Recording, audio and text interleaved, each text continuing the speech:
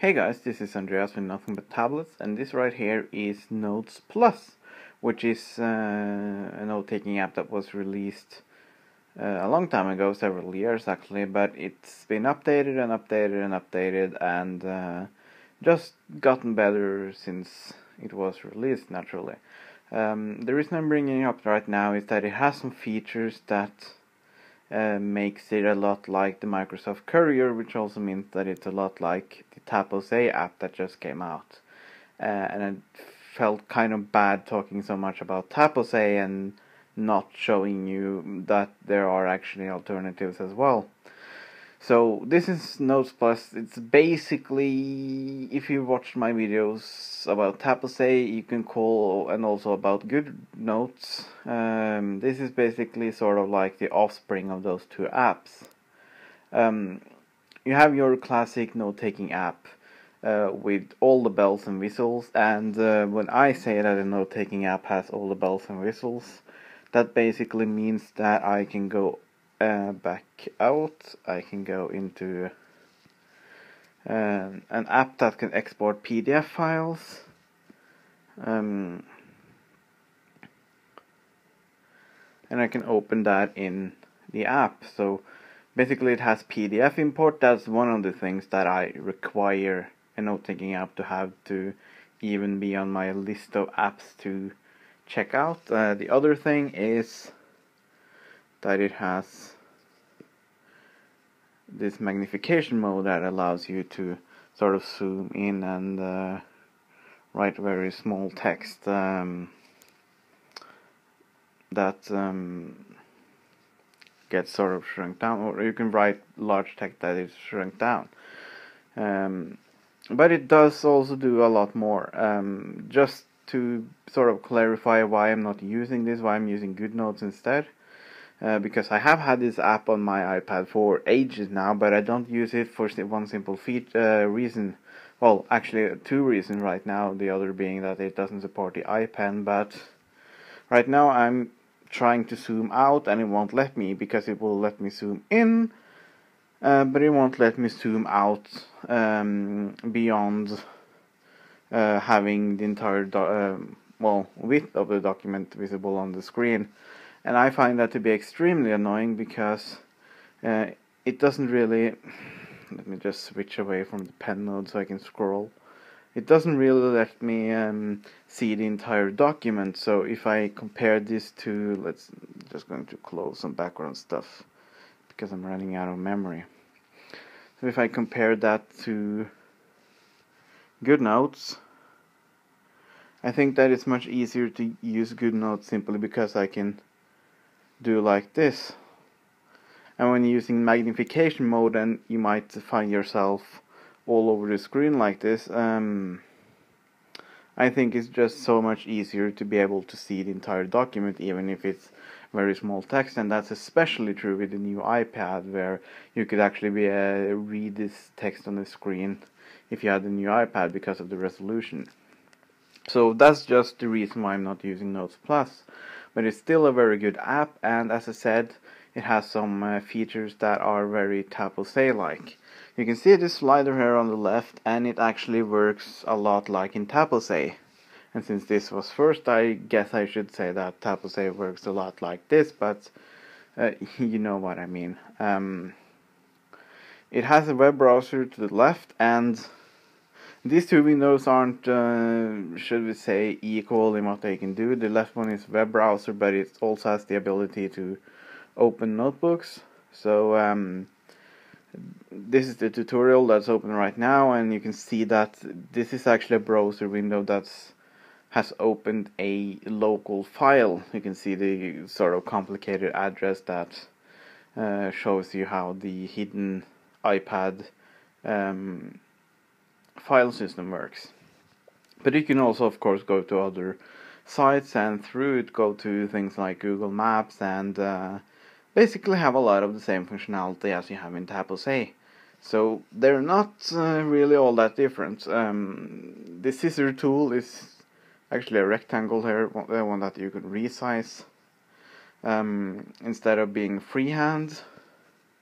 But once you take a snapshot, uh, you definitely recognize how it looks uh, from Tapose. Um, so that's one of the special features of this app.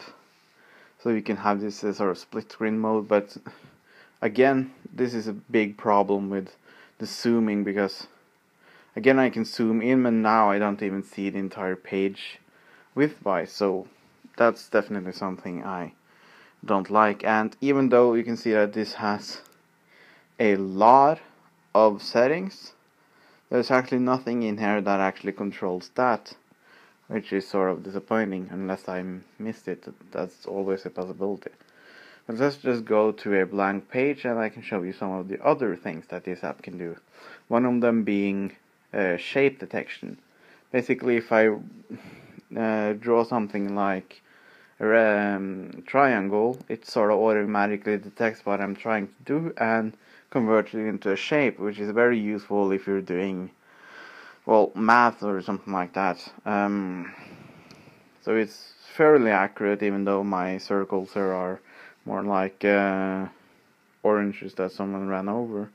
Uh, but sometimes it doesn't detect them as shapes because instead it detects them as me trying to select something.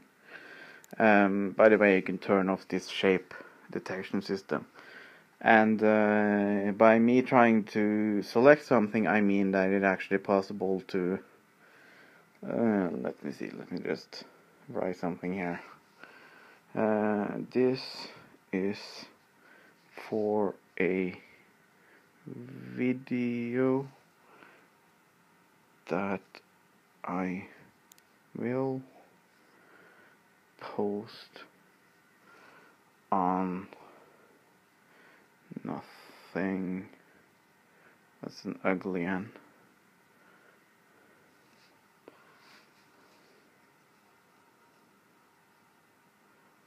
So my handwriting isn't the best, but um, we just go out of this uh, zoom mode I can just select a pen and circle it and it should select it. Um, and that means that I can move it around. And one of the very special things about this app is that it actually has OCR, optical character recognition, or it's actually called something like write recognition or something like that. So that's an extra, and that's an extra two dollars. Uh, you have to buy it by an in-app uh, purchase. Uh, so I've done that. Just convert the text. Um, and uh, as you can see, it's not. Uh, it doesn't like my handwriting all that much. So this is a video that I will post. Post. Oh, mashing but tablet. So it messed up on two words. But considering the fact that uh, I write like a pig, I don't think I can actually blame it for that. So just try something else. Uh, how much would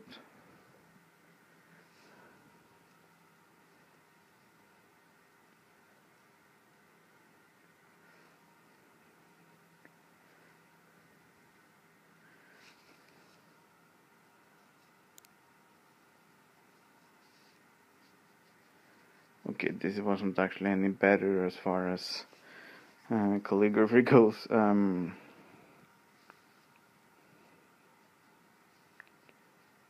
I would be very surprised if you understand even a word of this.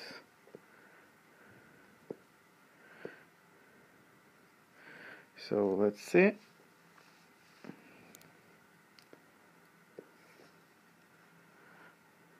How much wood would a woodchuck chuck if a woodchuck could something? Maybe I. Oh, there we go.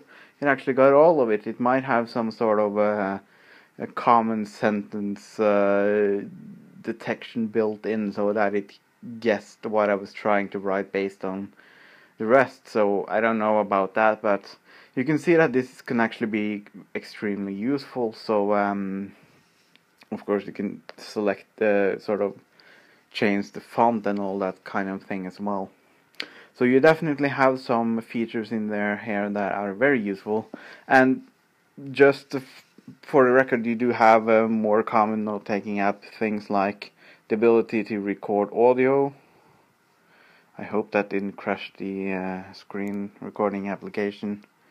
Um, and also you have uh, the ability to insert some actually got lost there there we go you can uh, insert stuff from the clipboard insert uh, shapes manually and uh, pictures and all that sort of thing and of course you can export it um, um, when you're done so let's just try to export that into Goodreader and see how that handles the converted text. I actually haven't tried this before. So let's just say, uh, see. Okay, so it actually, um, if you export the PDF file, it actually uh, keeps the converted uh, text as text. So it uh, this Goodreader application actually, the text is as text as well. So you can actually search it and uh, if we were to click search right here, um, just search for wood, would find it right away. So that's extremely useful. Um, so, well, that's been a very quick overview of uh, Notes Plus. I don't use it much myself, but it's definitely a very nice application. It's very uh, definitely very impressive, especially with the uh, optical uh, character recognition software that you can buy for it, and also the split screen view. Uh, it's more powerful than Tapose, but uh, at the same time, it's uh, less true to the courier than I think Tapose is. So, um, I mean, they're for different uses perhaps. But that's been a very quick look at Notes Plus for nothing but tablets, and thank you for watching.